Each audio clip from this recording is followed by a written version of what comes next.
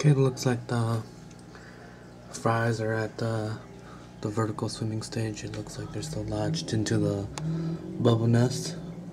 Um, as the fries, the eggs fall, the male goes down and retrieves it.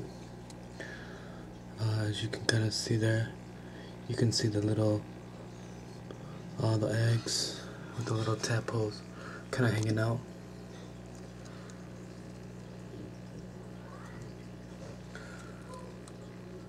That's what it looks like.